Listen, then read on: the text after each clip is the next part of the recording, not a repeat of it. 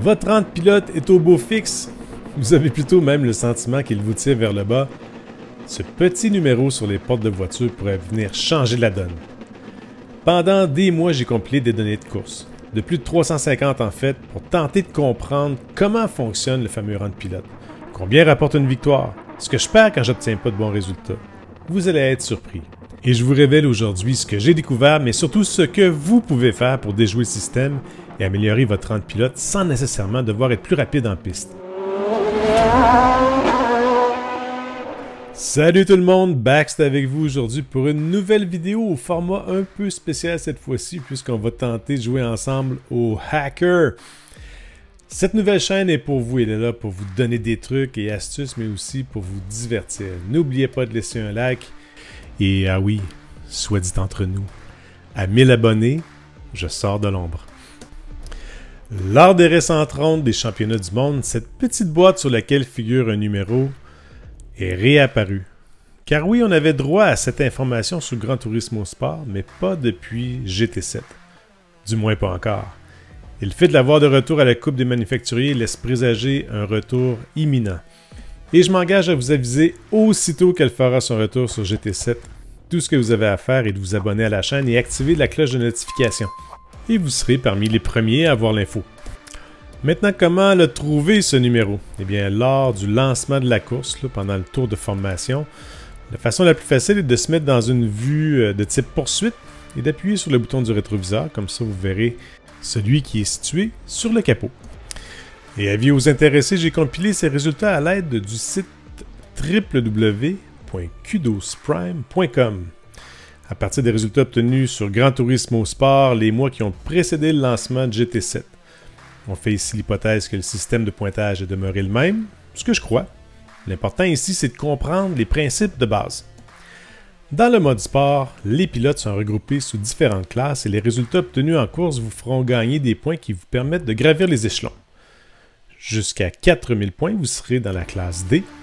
Ensuite, jusqu'à 10 000 points C, 30 000 points B, et jusqu'à 50 000 points, vous serez un pilote dans la classe A. Les 50 000 points et plus étant réservés pour les A+. Et pour votre info, les pilotes du groupe GT1, donc A et A+, seraient dans les 3% des pilotes les plus rapides. Alors voici ce que j'ai découvert. Dans une quotidienne C, vous pouvez remporter jusqu'à 1500 points pour une victoire, mais vous pouvez également perdre jusqu'à 1500 points si vous terminez au dernier rang et un peu plus si vous avez abandonné. C'est environ 1200 points pour une, quotidienne B.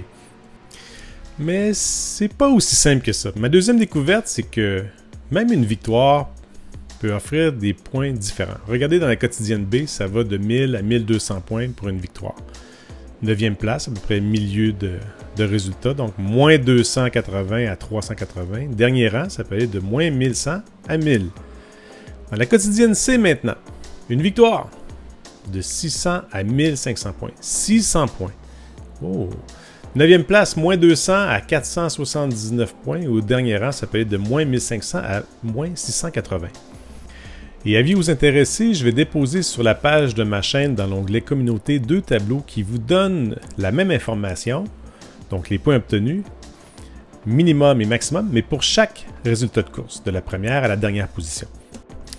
Donc 600 points pour une victoire. Surprenant? Tentons de comprendre qu'est-ce qui peut expliquer ça. Donc je crois que Polyphonie vise l'égalité des chances quand vient le temps de regrouper des compétiteurs dans un même salon, mais c'est pas toujours possible, entre autres selon le nombre de personnes disponibles du même niveau au moment où vous êtes en ligne. Alors je crois que ce numéro nous renseigne sur l'ordre des rangs de pilotes du salon. Le numéro 1 étant celui considéré le plus rapide, et le dernier, bien, celui ayant le rang de pilote le moins élevé du groupe. Et vous vous demandez où est l'importance de ce numéro sur les voitures, on y arrive.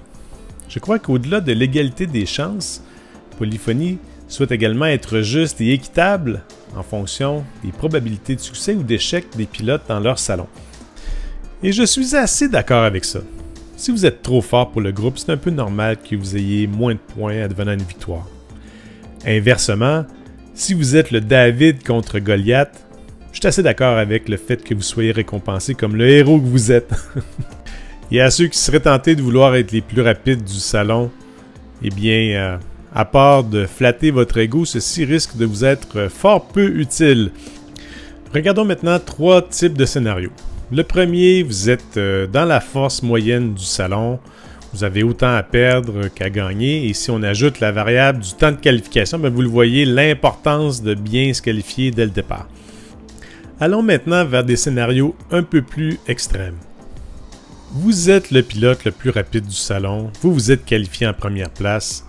C'est la situation idéale dans les circonstances, mais vous devez absolument terminer sur le podium, au pire une quatrième place, et malgré tout, vous ne ferez pas beaucoup de points. Allons maintenant vers le pire scénario. Vous êtes encore le plus rapide du salon, mais vous êtes qualifié dans les derniers. Là, là, la côte va être difficile à remonter. Imaginez, vous devez gagner 10 positions seulement pour éviter de perdre des points. Et pour cela, vous allez devoir remonter tous les pilotes devant vous, avec tous les risques que ça implique. Et si vous réussissiez par miracle à vous rendre en première place, vous ne feriez quand même que 600 points seulement. Allons voir maintenant notre autre scénario extrême où est-ce que nous sommes le pilote le plus lent du groupe. Bon, c'est pas la situation idéale, mais vous n'avez que 4 positions à gagner pour tomber dans ce qu'on appelle la zone payante et advenant le cas que vous terminez dernier, eh bien vous ne perdrez pas énormément de points. Dirigeons-nous maintenant vers le scénario que j'appellerais idéal. Vous êtes toujours le dernier de votre groupe, mais vous avez réussi à aller chercher la pole position. Et vous pourriez là perdre jusqu'à 10 positions et toujours être dans la zone payante. Alors, vous vous demandez maintenant comment déjouer le système. Alors, il y a deux éléments qui sont sous notre contrôle. Le fait de participer ou non à une course dans un salon. Et la deuxième, bien sûr, votre temps de qualification. Bon, maintenant, comment identifier la force du salon en attendant d'avoir ce numéro? Ben, allez-y avec euh, les lettres que vous retrouvez. Est-ce qu'il y a une grande variabilité euh, de pilotes A, B, C ou D? Donc ça va vous aider euh, d'ici là à, vous y retrouver. Et si ça fait quelques courses que vous avez le sentiment d'être dans les plus forts du salon, votre temps de qualification n'est pas nécessairement comme vous le souhaitiez, vous avez eu de la difficulté à obtenir des bons résultats, il faut se poser des questions. Est-ce que mon rang de pilote est important parce que vous êtes dans une séance dite non payante et risquée? Maintenant, les moments peut-être à éviter. Bien sûr, les, moments de la journée, les moments de la semaine où euh, il y a peu de gens en ligne. Donc, ce pas des situations idéales. Euh, d'aller concourir également dans les courses quotidiennes au même moment où il y a des, séries mondiales, c'est pas l'idéal. Donc, généralement, les lundis soirs, on, dit que ce sont des soirs très populaires, donc où les meilleurs pilotes vont, vont se pointer le bout du nez dans les courses quotidiennes. C'est peut-être un moment à privilégier, donc je vous laisse quand même regarder ça. Donc, le deuxième euh, L'élément qui est sous votre contrôle, ben, c'est le temps de qualif, bien sûr. Et là, je ne saurais insister assez sur l'importance de toujours aller chercher un bon chrono avant de se lancer en course. Vous l'avez vu, tous les scénarios et bien le temps de qualification nous donnent cette marge de manœuvre pour rester le plus possible ou augmenter nos probabilités d'être dans la zone payante. Bon, imaginons maintenant qu'après quelques courses, c'est évident, vous êtes le pilote le plus rapide de votre salon, mais vous voulez faire des courses. Et le rang de pilote est important pour vous. Et ne négligeons pas l'importance d'aller acquérir de l'expérience, des compétences en faisant du sport en ligne, en se mesurant contre d'autres personnes. C'est extrêmement important. Maintenant, l'option pour vous, c'est peut-être d'utiliser un deuxième compte. C'est assez courant. Personnellement, j'en ai deux. Mon compte principal Bax Racing est de niveau A, pas très loin du A+, et j'utilise seulement lorsque je suis en situation idéale. Donc, euh, j'ai un temps de qualif autour du top 500 mondial, je me sens confortable sur la piste. Euh, généralement, je cherche des salons très compétitifs. Alors que mon deuxième compte, le Bax de 08, ben lui, je l'utilise pour faire des erreurs. Apprendre euh, les circuits, développer mon aisance, améliorer mes temps de chrono. J'utilise également avec la PSVR 2. Et petite confidence, je songe même à en créer un troisième, un compte européen, pour qui sait peut-être vous croiser sur la piste, vous qui regardez cette vidéo depuis l'Europe. Alors j'espère qu'elle vous aura plu cette vidéo, que vous comprendrez mieux maintenant comment fonctionne ce système et comment en tirer profit. Maintenant, je vais vous laisser avec deux conseils. Le premier est contre-intuitif, de toujours viser des salons compétitifs. Et le deuxième, vous l'aurez deviné, le temps de qualif. Ne pas lésiner sur le contre-la-montre pour aller chercher le meilleur chrono et augmenter vos chances de gagner davantage de points. Encore une fois, j'espère que cette vidéo au format un peu spécial vous aura plu. Si c'est le cas, n'hésitez pas à laisser un like. Et quant à moi, je vous dis à une prochaine vidéo et d'ici là, bonne course!